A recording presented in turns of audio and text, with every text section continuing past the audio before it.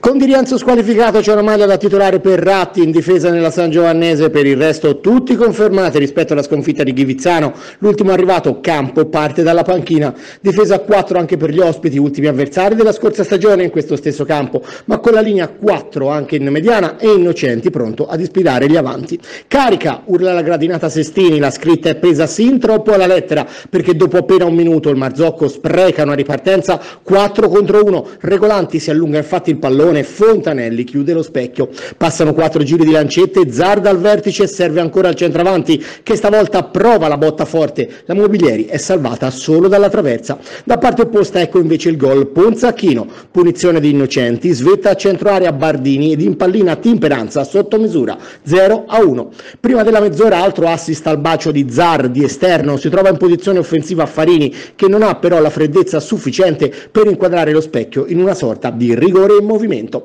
Trascorre il tempo, altro lancio per Regolanti, defilato, opta per il diagonale sul primo palo, Fontanelli neutralizza. Il portiere, siamo al minuto numero 40, va poi a contrasto con Sacchini che vanamente chiede la concessione del penalty a proprio favore. Il forcing azzurro è però costante anche se senza frutti. Nuovamente protagonista Sacchini che incorna l'ennesimo pallone centrato da sinistra. L'estremo ospite è decisivo in tuffo per concedere solo il corner numero 7 ai padroni di casa. La ripresa si apre con Zar che raccoglie la respinta spinta difensiva avversaria dalla punizione di Sacchini, controllo e cambio piede, sfera a scendere con troppi giri, sfera alta quindi. La Mobilieri rientra nelle note dopo un tempo esatto ed è Fratini a non trovare il bersaglio da distanza siderale. Non manca molto però al raddoppio da azione identica ma speculare a quella del vantaggio. Stavolta è Remedi a salire più in alto di tutti. Il 2-0 non si concretizza solo per mera questione di mira. Il fosforo latita per gli azzurri, l'inerzia si sposta a favore degli ospiti. Ha il match point sul piede Panattoni, lo fallisce per l'eccessiva potenza data alla sfera.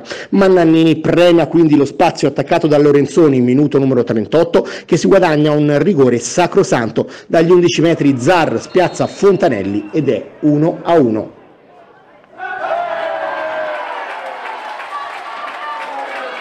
A questo punto il Marzocco cerca anche la vittoria, Caprio dal limite calcia fuori dallo specchio e sulla punizione di Regolanti al quinto minuto di recupero, al lato di pochissimo, cala il sipario sul match che assegna dunque un punto a testa.